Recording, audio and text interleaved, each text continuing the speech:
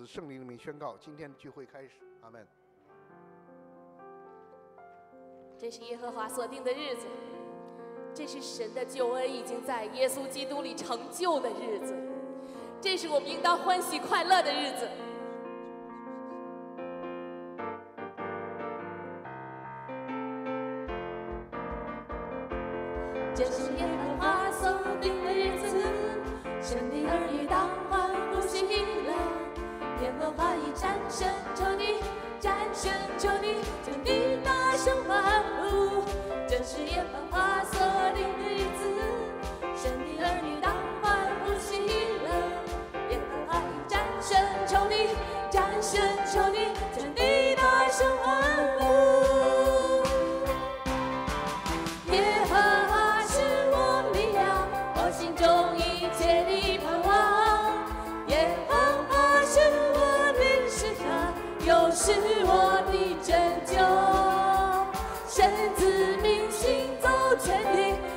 消息宣告你的名，高举的神的旌旗，我们深信你，你是我神。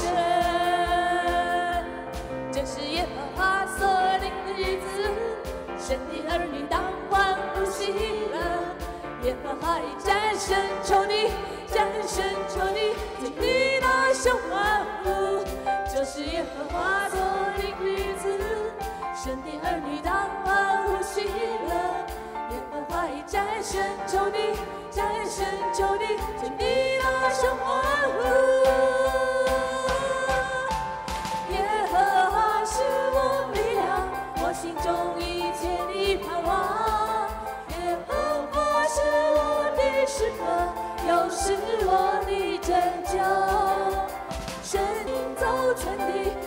消息宣告你的灵，高举的神的旌旗，我们称谢你，你是我神。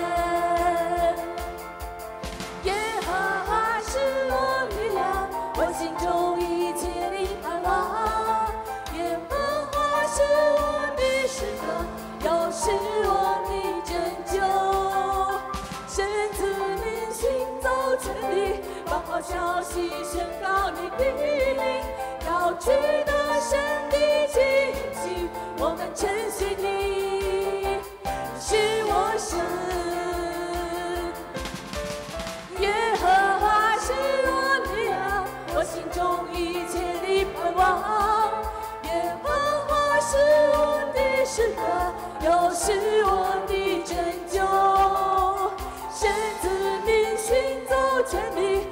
好消息宣告你的名，高举了神的旌旗，我们称谢你，你是我神。我们称谢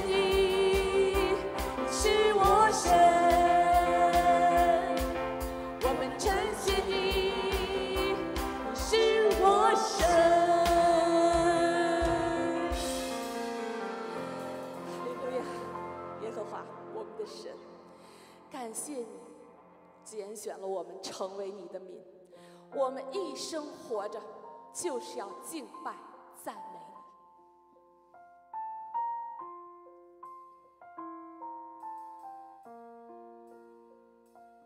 将自己心上，当作火祭，做出圣洁贵重的器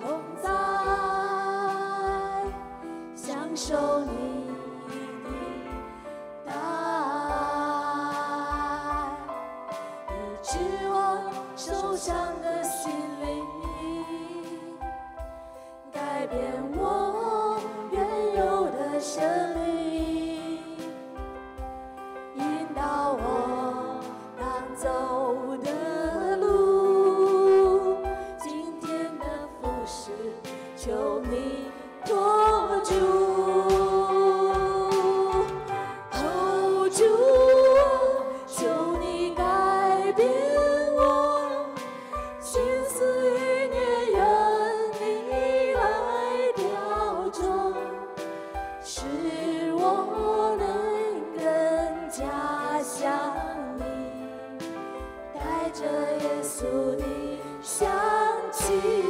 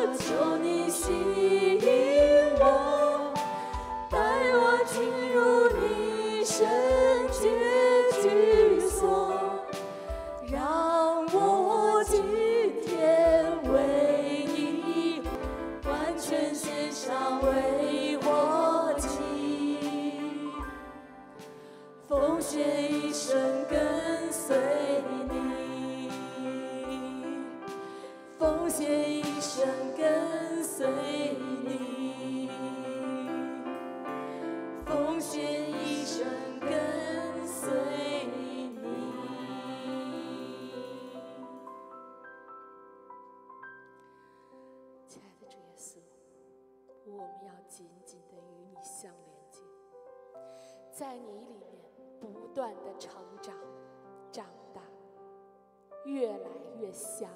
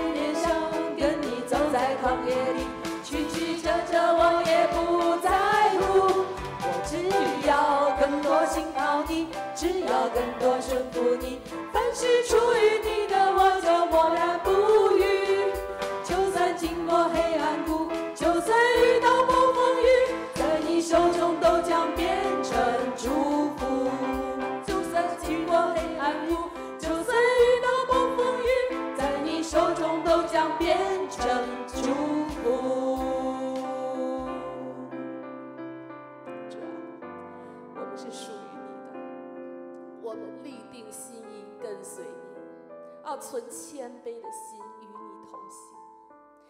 你必与我们同在，领着我们走，不撇下我们，也不丢弃我们。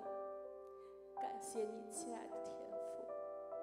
祷告奉主耶稣基督宝贵的圣名，阿门。大家请坐，我们有请今天的讲员 Jason 林老师。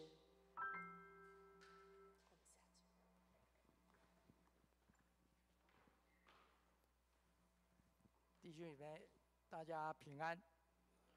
哎，很抱歉，每次都匆匆忙忙的。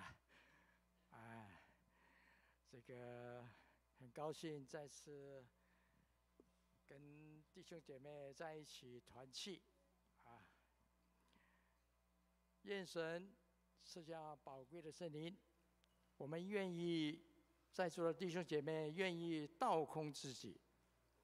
来领受神丰盛的祝福，就像以丽莎如何祝福欠债的寡妇带着两个孩子一样，神如何祝福他们，也一样祝福在座的弟兄姐妹。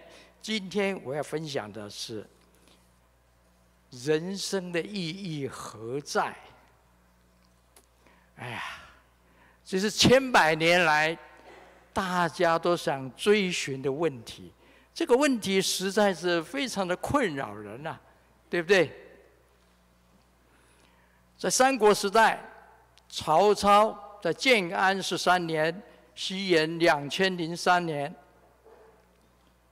他要率领水军跟吴国孙权大战一场。那一天十一月十五号的夜晚。皎月当空，江面平静无波。他就犒赏这个三军，这个水军，他就视察这个水寨，拿起酒杯，把酒当歌啊！人生几何，譬如朝日朝露。去日苦多啊！南北征战那么多年，多辛苦啊！慨当以慷啊，唱首引吭高歌，忧思难忘。何以解忧？唯有杜康，喝一杯吧。借酒浇愁，愁更愁。再说这个李白嘛，我们都认识他，他不认识我。他能文，能武，能酒，才高八斗。但是他的官场非常的不平顺，人生非常不如意。有一天，他请客，请他的一位长辈叫李云。他说啊：“弃我去者，昨日之日不可留；乱我心者，今日之日多烦忧啊！昨天也难过，今天也难过，是吧？人生多无聊，多无趣呀！因为他不知道。”人生的意义在哪里？这些千古风流人物，征战了半天，哎呀，是非成败转头空。青山依旧在，几度夕阳红。争来争去，黄土一杯，对不对？多无聊啊！所以呢，不认识神呢，就不好。我们一定要认识神。西方非常有一个哲学家，英国叫罗素，对吧？非常有名的哲学家、数学家，而且逻辑逻辑学家。他说啊，除非你假定假定有一位神，否则探讨人生目的这个问题是毫无意义的。所以不认识神，人生就没有目的，没有目的，你人生就没有意义，没有意义，人生就没有盼望，没有盼望，盼望，你的人生只有劳苦愁烦，柴米油盐酱醋茶，对吧？所以，对于我们已经认识神的弟兄姐妹来说，我们知道我们的生命，生命是来自上帝的恩典。我们要了解，他让我们活在这个世界上，他拣选了我们，一定有他的目的。他的目的就是要你势立在他的面前来侍奉他，过着侍奉的生活，你的人生才能找到真正的意义和目的。那么，不是每个人都可以侍奉神的。侍奉神是有条件的，所以我们来看看侍奉的凭据跟原则。我们来看看这句经文下一章，叫我们既从仇敌手中被救出来，就可以终身在他面前坦然无惧的用圣洁公义侍奉他。这短短两节经文，却是告诉我们侍奉的基础。侍奉的凭据和原则，首先就是第一句，叫我们从仇敌手中被救出来。所以上个礼拜牧师讲的，上帝生命的呼召，所以我们被救出来，被从最终去拉拔出来，救赎出来。我们就是被拣选的族类，对吧？君尊的君尊的祭司，圣洁的国度，神的子民，我们才能够坦然无惧在神的面前，像过去的祭司一样，为求联系蒙恩惠，做随时的帮助，我们才有这个凭据来侍奉神。接下来，我们就可以看到这两节经文告诉我们侍奉的原则。第一个，侍奉的时间，看到没有？两个字：终身。啊，一个终身，我们一辈子不分老少，都可以服侍神，而且是一辈子的。第二个是地位，我们是被拣选出来的，神是我们的主人，我们是他的仆人，所以我们要在他的面前，势力在他面前等候他的差遣。第三个就侍奉的态度，坦然无惧，就是有无愧的良心、清洁的心，在神的面前侍奉，因为神是圣洁的。侍奉的方式圣洁公义，所谓的圣洁，神是圣洁，我们用无愧的良心、清洁的心来侍奉神，以公义，换句话说，不论男女老少。老弱妇孺，一视同仁，公益的心来侍奉服侍人。这个是什么侍奉的原则？接下来还有一个侍奉的三个要素，这是黄家乐牧师在侍奉的信息纪要里面提到了。完整的侍奉有三点：第一个，本位的侍奉，因为。我们是被造者的身份，是神所拣选出来，所以我们要势立在神的面前，祷告、敬拜、赞美、感谢，这些都是你该做的。第二个就是生活上的侍奉，平常的日常生活，在家里、在职场，都要行出符合神心意的行为。是神的见证，我特别那个“是”，这个“是”在我们和合本写的是做神的见证，但是在这里是这个“是”在英文本里面是 “You will you will be my witnesses”，是神的见证，是什么意思呢？就是说你的日常生活都要披戴基督，每天都活出基督的样式。第三个工作的侍奉，就是我们借着圣灵所赐的恩赐，在教会中心的服侍，这个就是工作的侍奉。以上三个侍奉才是一个完整的侍奉。那么，我们了解侍奉的条件、侍奉的原则、侍奉的三个这重要的这个元素，那我们来看看。侍奉的目的干嘛？侍奉的目的干嘛？你既然得救了，上帝直接就把你接回天家就得了嘛，对不对？那侍奉的目的干嘛？得救之后，上帝没有把你接回天家，就把我们留在这个世界上干嘛？他的目的就是呢，呼召我们去侍奉他。侍奉的目的。就是让主使用我们来完成他的心意。主耶稣说：“如果有人服侍我，我父必尊重他。”这在约翰福音十二章二十三、二十六节。在中文版就是翻成“尊重他”，但在英文本是 “honor”，尊荣你。换句话说，将来在神的国度，你必与神一同享荣耀。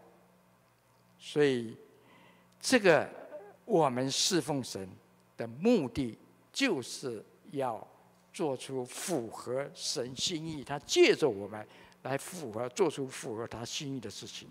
那几个心意，他的心意呢，就是我们侍奉的目的有四个。第一个。传福音，令人归主。啊，记得主耶稣升天之前，赐下了一个大使命。他说：“你们要去，使万民做我的门徒，奉圣父子、圣子、圣灵的名为他施洗。”所以，我们侍奉主第一个目的就是传福音。将福音传出去，使人归主。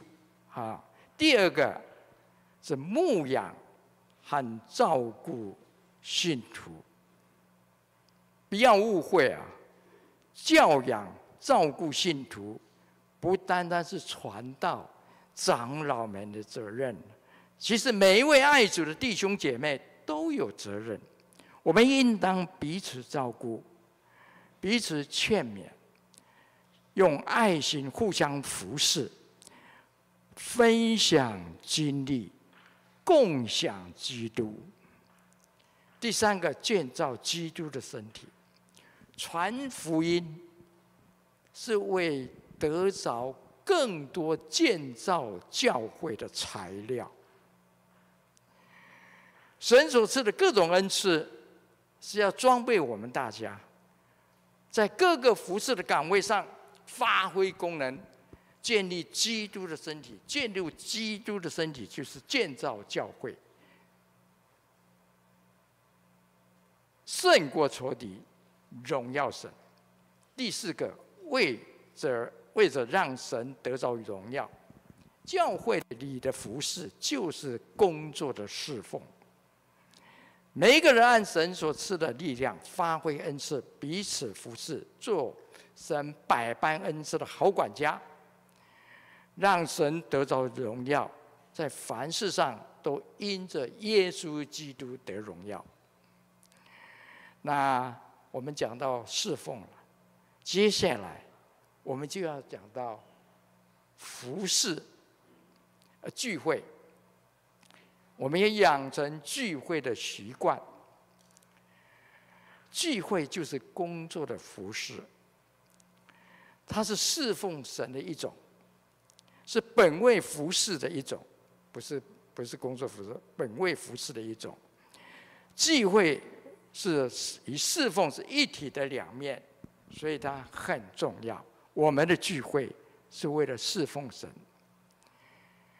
这节经文，这两节经文大家都很熟，又要彼此相顾，激发爱心，勉励行善。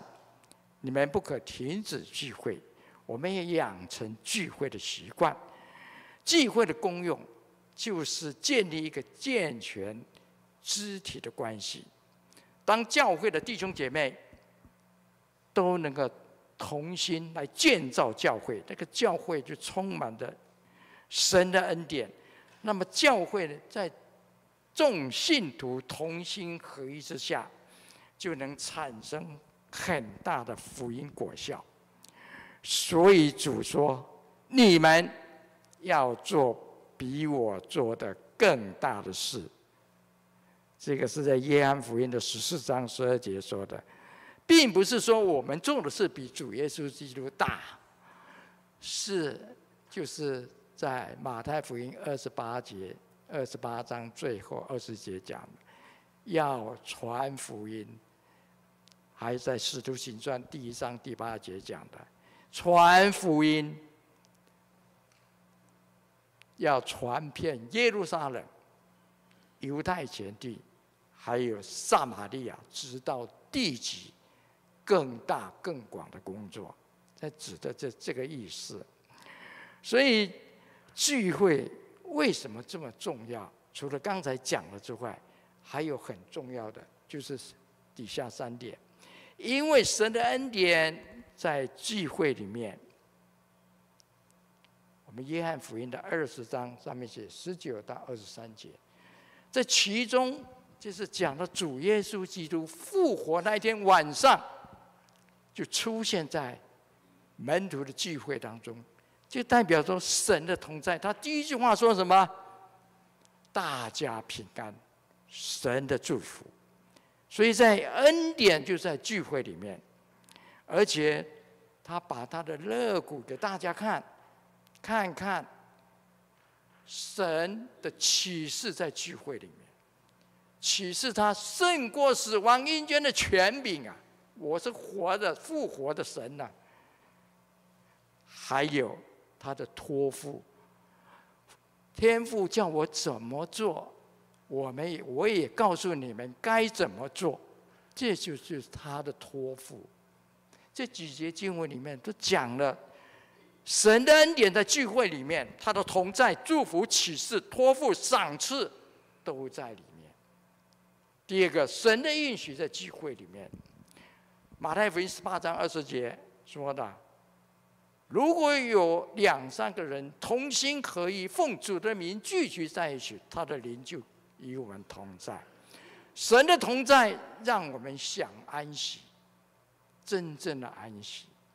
所以聚会能够带给我们啊很大的好处。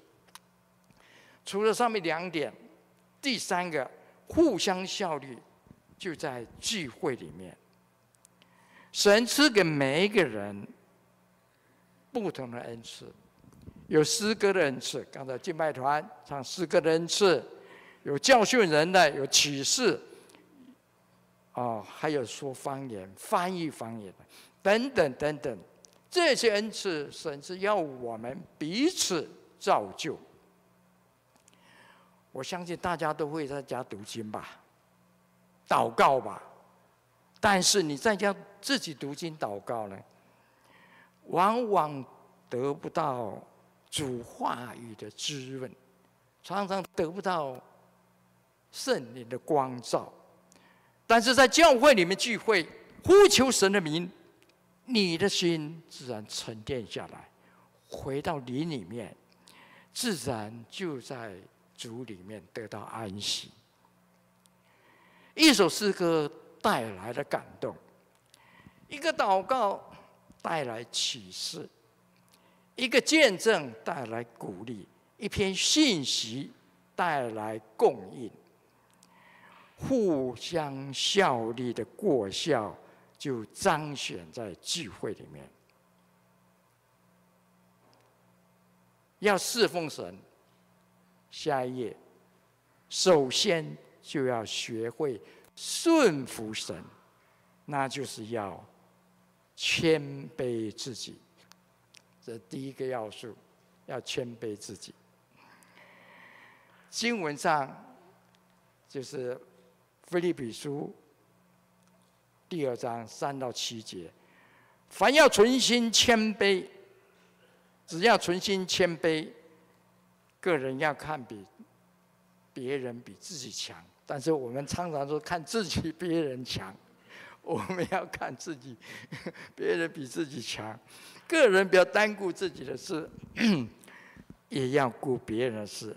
你们要以基督耶稣的心为心，他本有神的形象，却降卑为人，不与神同等呐，不与神强夺，反倒反倒虚举起了奴仆的形象，成为人的样式。谦卑自己不容易啊！在今天的大环境，大家都想表现自己，在西方社会尤其如此。这是我女儿告诉我的了。你不表现，你不讲话，人家以为你不懂啊，对不对？没意见呐，是吗？大家都想表现，但是也没有错了。但是表现，这个表现也是应该的。但是在我们教会的服饰上。我们却有不同的看法。要做到谦卑不容易，即便是我们信主的弟兄姐妹也是一样。但是如果要活出基督的生命，谦卑是第一个步骤，第一个重要的一步。基督降卑为人，被钉死在十字架上，是最大的谦卑，对吧？路加福音第一章。十九到二十节，第十章，十九到二十节说：“人子来寻找世上拯救世上的人，对吧？他就是来服侍人的，谦卑。”在彼得前书五章也说到：“谦卑使人蒙福，因为神阻挡骄傲的人，谦卑赐恩给谦卑的人。”所以我们要学会谦卑，这是第一步。其实我个人觉得，在生活上就有很多的小提点。操练谦卑，就从日常生活上开始。第一个，不一定都要成为主角。大家都想站在镁光灯下啊，尤其那些明星。哇，灯光都照在他身上，好哎，这万万人瞩目的焦点，对吧？但是我们都是连于基督的身体，搭配服饰的时候，搭配服饰的过程，我们要学习凡事都能后退一步，不要抢着当主角。在教会里面没有不重要的事工，每一种恩赐都很重要，不论台前幕后，我站在台前，那幕后有多少人在默默的在在做，都很重要，对吧？但是凡是坐在基督上，你就是主角。大家的家里面，家里面是不是有很多的灯呢？有那个吊灯，好华丽啊！厨房有厨房灯，卧室有卧室的灯，但是其中有一个大家很忽略的，什么灯？啊？小夜灯呐，对不对？小夜灯，夜间你起来会照亮你的脚步，让你不至于跌倒。说到这个，我就有一个见证。几年以前了，说来也是不好意思。有一天呢，吃坏肚子，晚上突然想吐，急急忙忙起来，睡眼惺忪啊，就赶快要冲进厨房，冲冲进这个浴室啊，呃，这个呃那个呃。卫生间了，结果呢，当声，哇，这撞到门柱，你知道吧？我只隐隐约约听到好大一声，咚一声，哎呀，很，我也不管他了，吐完了事，回头再睡觉，因为我第二天还要在这边服侍，第二天起来这边一个包，流了血。血已经凝固了，眼睛是亲的乌青的，你知道吗？大家都不敢问我发生了什么事情。牧师后来知道，没没有人牧师后来知道，就送我一个小夜灯，知道吗？这小夜灯很棒的哦，也可以当手电筒哦，啊，可以插电哦。充电哦，这个小夜灯，我叫它做什么？我叫它做耶和华是亮光。我们圣经里面都有很多雅味复合的名字吧？耶和华罗伊，耶和华沙龙，耶和华拉法。耶和华以勒，耶和华尼西，都有这些人都经历神，所以他就叫神有一个复合的名字，代表他跟神特殊的关系。所以这个小夜灯，耶和华亮光，就是我跟神的关系。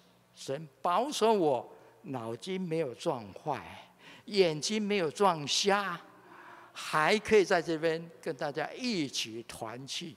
享受神同在的快乐，对吧？所以你们也可以如此，跟神之间你有特殊的经历，就可以为神取一个名字，代表你跟神之间的关系。好，接下来第二个生活上的小提点，错了就要勇气。提起勇气，道歉就是了嘛。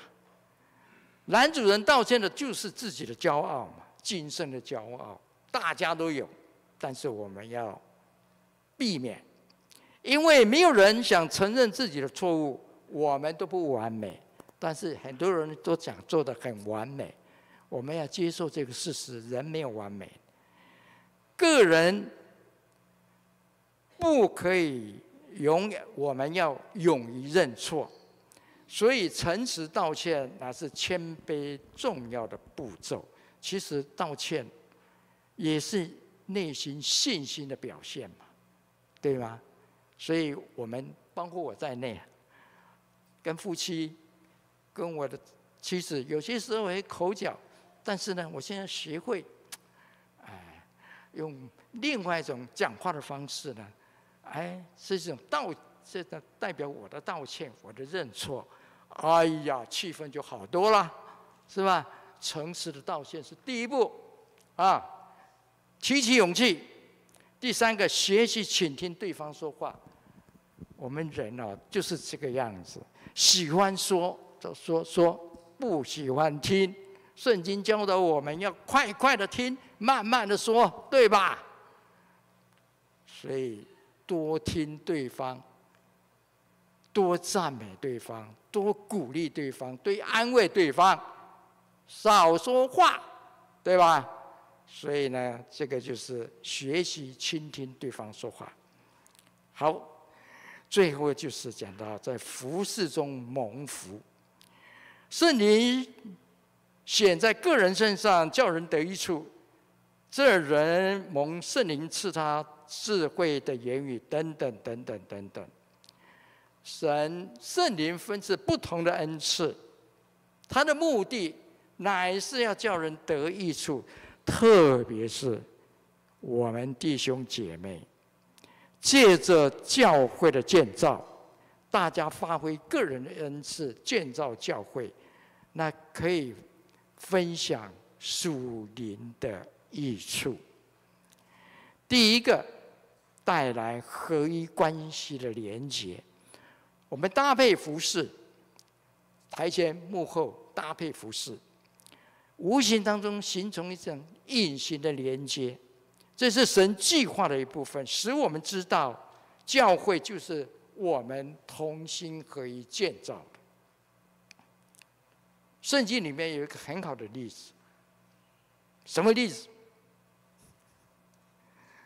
亚波罗，大家知道吧？他很有学问啊，像基神一样，很没有学问呢。我不是很有学问，他很有学问，很会讲解圣经。他只知道，但他只知道施洗约翰的事情。后来保罗的同工百基拉、雅基拉就教导他关于圣灵充满、圣灵洗礼的事情，因此他得着能力，所以他能驳倒那些法利赛人。引用圣经证明耶稣是基督，这就是一个典型搭配服饰、带出合一、发挥福音果效的一个蒙福的例子。我们再看，在服饰中蒙福，可以发掘建造属灵的恩赐。在教会单独的恩赐起不了作用的。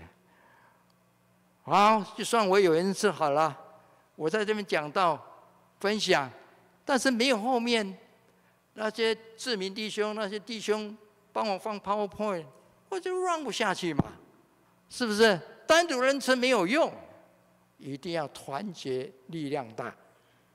所以，唯独在基督里面联络的合适。才能完全发挥教会整体的功能。恩赐的范围很广的，不是只有台前幕后这些，但只要有圣灵同在的服饰，就是恩赐。大大小小，有意于人造就教会，都是属于恩赐的一种。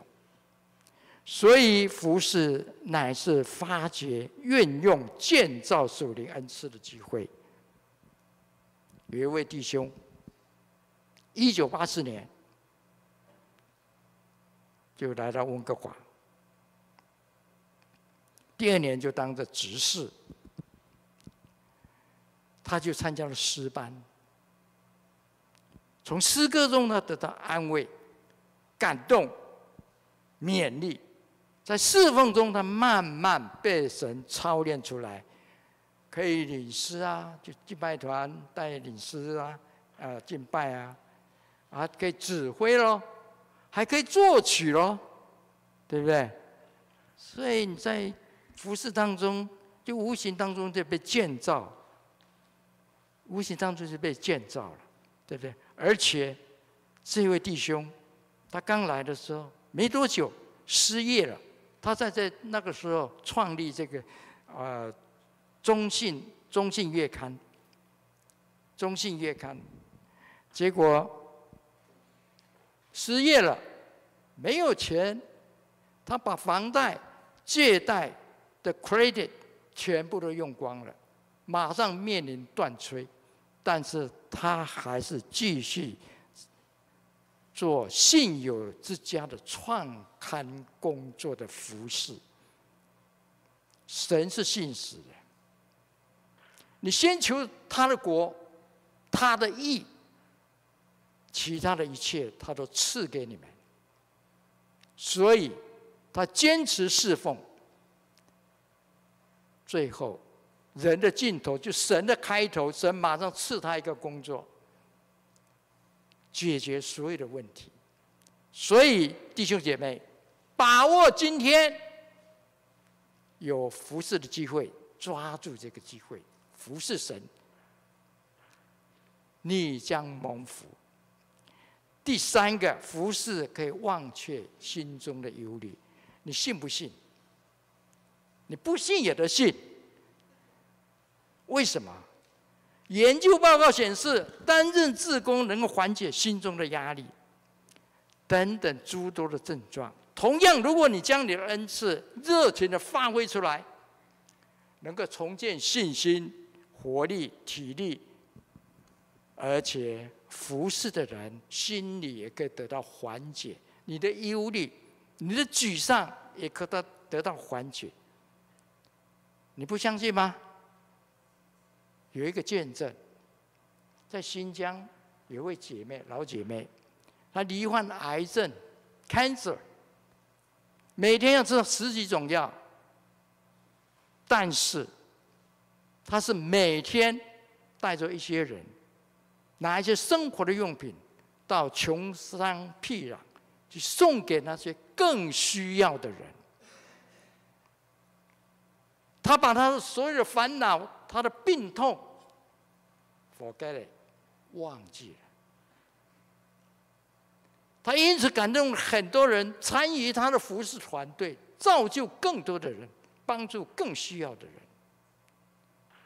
同样的。我们在服侍当中，我们不但能够将这些忧愁、忧虑、不安抛出九霄云外，我们可以从服侍中得到甘甜，得到喜乐。第四个，从服侍中看到别人的需要。马太福音二十五章第四十节讲。我实在的告诉你们，这些是你们既坐在我这弟兄最小的一个身上，就是坐在我身上。所以，我们服侍呢，如果你真是圣灵带领你的服侍，你就会看到别人的需要，你的眼光就从你自己看到别人的需要。我们要学会。以主的眼光来看待事物，并且从他身上看见见证基督，因为天国的赏赐是赐给那些甘心乐意服侍的人。最后，我这两句的结语，下一章，第一个是。跟未信主的弟兄牧道一起共勉。I don't know how about tomorrow. Tomorrow，我不知道明天将如何，但是你却活在今天。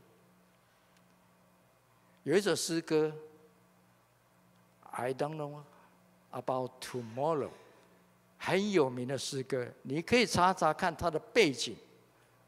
会让你感动的，神就是这么慈爱，这么怜悯人。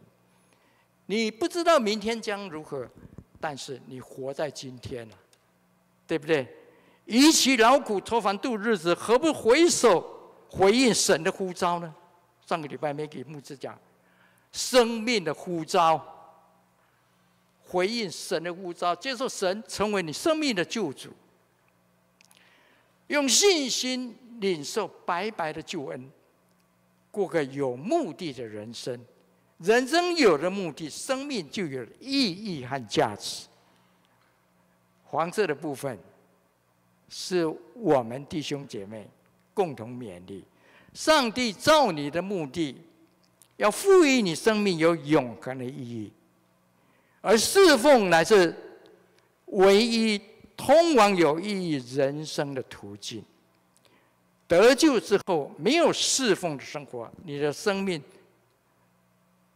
只有什么？劳苦愁烦，酱醋茶。劳苦愁烦，柴米油盐酱醋茶。你只有生存，没有永恒的价值。你如果不侍奉，你就是在马太福音那个三个比喻，有五千，有两千，有一千的吧？那一千的埋在地底下。如果你把你的恩赐埋在地底下，那将来你要跟神交账。今天的分享到这里，愿神祝福大家，把握今天，赶快服侍。谢谢。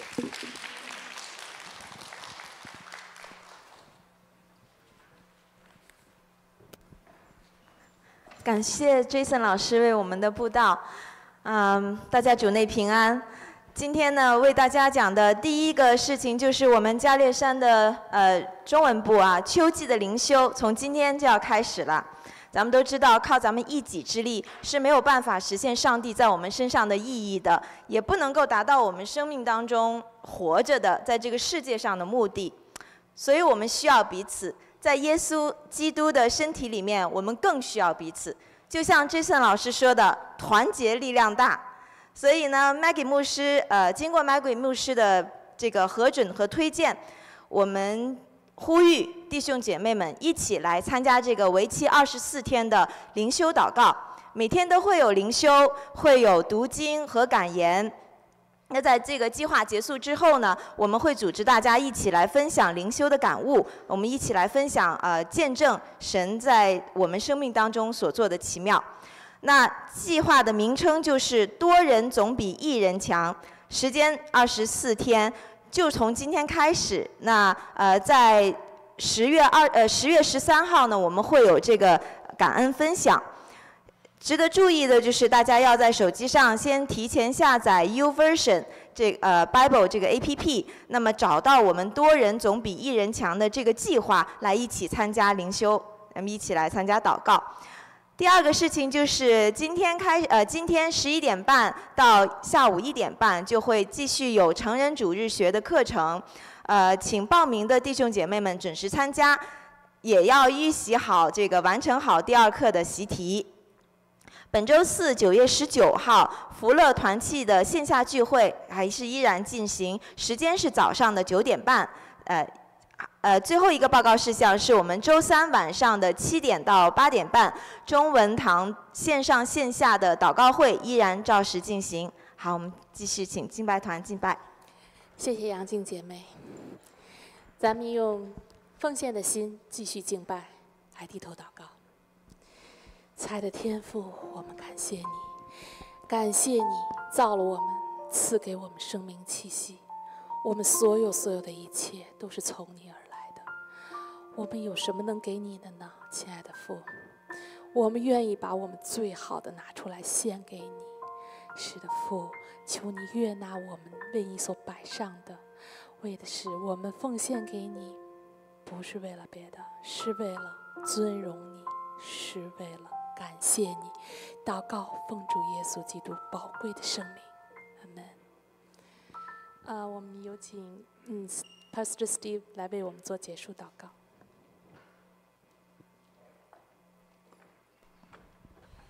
You know, there's times in our lives where we wish we could get in a time machine and go back in time and maybe fix some things that we did wrong. 我们时常呢会有一种想法，就是我们有一台时间的穿梭机，回到过去，然后去纠正一下我们曾经做错的事情。 And then there's other times that we'd like to go forward in time just to get a picture of what it's going to look like so we're ready. 那有些时候呢，我们又想坐着这个穿梭机回呃去到将来，去看一下我们之后会有什么样的情样子，But you can't do either one. 但你哪一个都做不了。Scripture tells us of the man who says, Tomorrow I will do this, or tomorrow I will do that. 那圣经里面告诉我们，有一个人呢，他会想着明天我要做这个，明天我要做那个，Tomorrow I will buy this land or sell this land. 那明天我要买这片地，我们要卖，我要卖那一片地。But the scripture tells us that tomorrow is not guaranteed. 那圣经也告诉我们，明天并不保证有明 All 天。we have is the present moment we're in right now. 我们所拥有的就是现在。So, what is God calling you to do now? 那神让你现在来做什么呢？For some of you, the time is now to say yes to following Him. 那有些人呢，你现在要做的就是，是的，我要，我要，呃，我要，我要跟随主。 For some of you, the time is now to trust Him with your fears and your anxious thoughts. 那对某一些人来说呢，现在就是放下你的焦虑，放下你的恐惧，来相信他。 For others, the time is now to just believe God for a miracle. 那还有一些对 另外一些人来说呢，就是你放下所有的，就是相信神的奇迹。Time is now, so don't miss it. 是现在就是你所要拥有的那个时间点，不要错过它。Would you stand with me as we pray the Lord's Prayer together in unity as we close our service today? 让我们一起起立来合一祷告。我们在天上的父，愿人都尊你的名为圣，愿你的国降临，愿你的旨意行在地上，如同行在天上。我们日用的饮食，今日赐给我们，免我们的债，如同我们免了人的债，不叫我们遇见试探，救我们脱离凶恶。因为国度、权柄、荣耀，全是你的，直到永远。阿门。The Lord bless you. 愿上帝赐福你，保佑你； The Lord make his face to shine upon you 愿上帝的脸光照耀你， and be gracious to you. 去保护你。 The Lord lift up his countenance and give you peace. 愿上帝能够给你平安。 Father, we thank you today for your word. 上帝，哦，谢谢你这对我们的话语， Help us to walk in its truth 让我们在真理当中行走， as we seek to be more like you. 让我们能够更能够追寻你，像你一样。我们以耶稣基督的名祷告，明求，阿门。Let's sing together. 来，咱们一起来互相问候一下，互相说平安。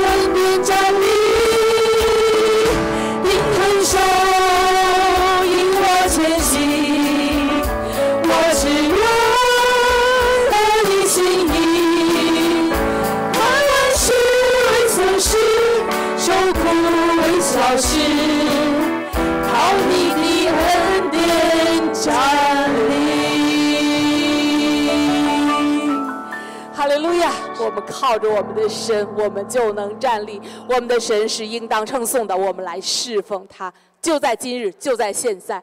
好，今天的机会就到这里，咱们下周再见。